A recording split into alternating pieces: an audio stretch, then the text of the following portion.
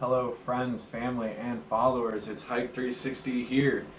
I'm all alone. I've got my brother who flew back to New York. Uh, that's where he lives, that's where he goes to school. And my dad, he's over in Switzerland right now. So it's just me. And I have made it back to Illini State Park to spend the night in the cabin. I think this is the first time in 2021 that I am here.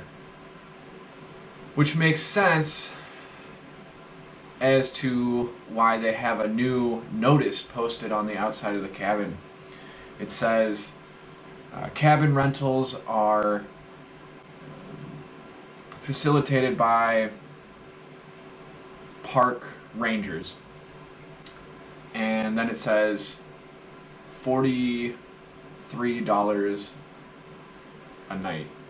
So I'm used to paying $18 a night. That was the going rate for all of 2020.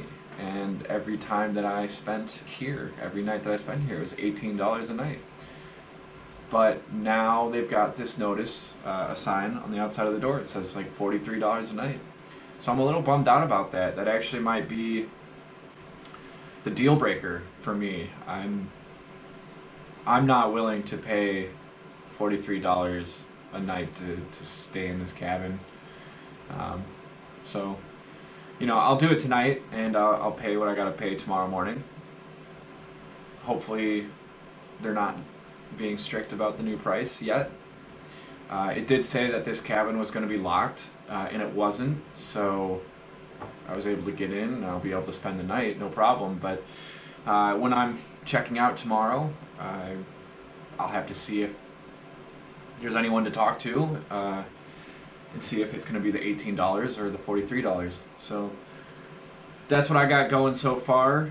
Like I said, it's just me tonight. I've got my famous uh, wild pita dinner, uh, the veggie combo, the baba ganoush, the falafels, and the hummus, all that. Looking forward to it.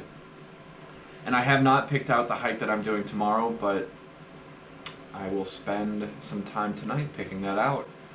So we'll definitely have some fun tomorrow on the hike. Alright, that's all I got right now. Peace out, guys.